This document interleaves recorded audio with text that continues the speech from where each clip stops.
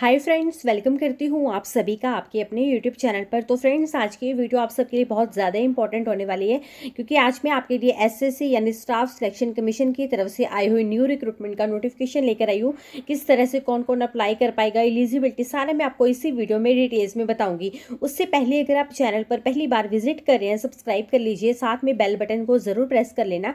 इससे आपको फ्री में नोटिफिकेशन आते रहेंगे जब भी मैं कोई नया अपडेट आपके लिए लेकर आऊँगी। और बताना चाहूँगी, इस रिक्रूटमेंट के अलावा 10 से 12 नए नोटिफिकेशन आउट किए जा चुके हैं 2020 के लिए। उसके लिए आपको ज़रा भी देर नहीं करनी है। हमारी ऑफिशियल वेबसाइट www.clory.com जिसका लिंक आपको इस वीडियो के डिस्क्रिप्शन में जाकर मिल जाएगा। वहाँ पे जाके आपको सारी इन्फॉर्मेशन ले लेनी है। वहाँ आपको प्रॉपरली गाइड किया गया है कि किस पोस्ट के लिए अप्लाई करना किस तरह से है। फ़िलहाल हम बात करेंगे एस यानी स्टाफ सिलेक्शन कमीशन की तरफ़ से आए हुए नोटिफिकेशन के बारे में कौन कौन किस तरह से अप्लाई कर पाएगा। एलिजिबिलिटी क्या क्या यहाँ पर बताएगी है। और चलिए स्टार्ट करते हैं। सबसे पहले देखिए, यहाँ पे अप्लाई कौन कौन कर सकते हैं? आपको पता है एसएससी हमेशा हर साल वैकेंसीज आउट करती है ऑल इंडिया के मेल फीमेल के लिए। जहाँ पर फीमेल के लिए S C S T physically handicapped के लिए कोई भी एप्लीकेशन फ़ीस नहीं होती है, ठीक है?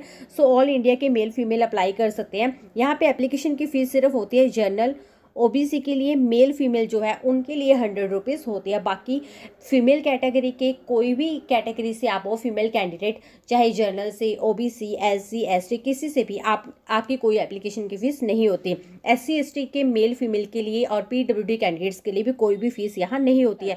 ठीक है, ऑनलाइन आपको अप्लाई कर लेना है। टोटल जो वैकेंसीज है, एक लाख आठ हज़ार तीन सौ अठत्तीस वैकेंसीज का ये नोटिफिकेशन जारी किया गया है। टेंथ पास के लिए अलग वैकेंसी है। ट्वेल्थ पास के लिए ग्रेजुएशन वालों के लिए अलग है। ये जो क्वालिफिकेशन है एज़ पर पोस्ट रहेगी, जैसे कि मैंने आपको बताया है, हर पोस्ट के लिए अलग क्वालिफिकेशन है। ये बहुत ज़्यादा इंपॉर्टेंट लिंक है। लेटेस्ट गवर्नमेंट जॉब्स 2020 का, यहाँ क्लिक हेयर पे क्लिक करके आप इन्फॉर्मेशन ले सकते हैं। यहाँ से स्टडी मटेरियल आप डाउनलोड कर सकते हैं। उसके अलावा देखिए सिलेक्शन प्रोसीजर आपका यहाँ पर रिटर्न एग्ज़ाम होगा देन आपकी इंटरव्यू रहेगी। यहाँ पर एज की जो आपकी लिमिट है मिनिमम एटीन है मैक्सिमम क्या होगी, वो अभी ये फुल नोटिफिकेशन के बाद में आपको बताऊँगी, ठीक है? पहले मैं आपको सारी डिटेल्स में बता देती हूँ, जो उन्होंने बताया हुआ है। एज रिलैक्सेशन एज पर रूल्स आपको दिया जाएगा। एप्लीकेशन फ़ीस मैंने आपको स्टार्टिंग में ही क्लियर कर दिया, जो कि आपको ऑनलाइन ही पे करनी है। पोस्ट नेम जो देखिए, वो आपका फुल नोटिफिकेशन के बाद ही पता चल पाएगा कि क्या है पोस्ट का नेम ठीक है, जो अप्लाई करना शुरू हो जाएगा और जैसे कि इसकी जो लास्ट तारीख रहेगी वो फेब 2020 में रहेगी। जैसे ही फुल नोटिफिकेशन आता है, मैं आपको बताऊँगी। और डाउनलोड सोर्स यहाँ पे लाइव सोर्स जो आपका है लाइव हिंदुस्तान की तरफ़ से आइए क्लिक हेयर पे क्लिक करके आप सारा नोटिफिकेशन रीड कर लेना। वीडियो को कीजिएगा like share thanks for watching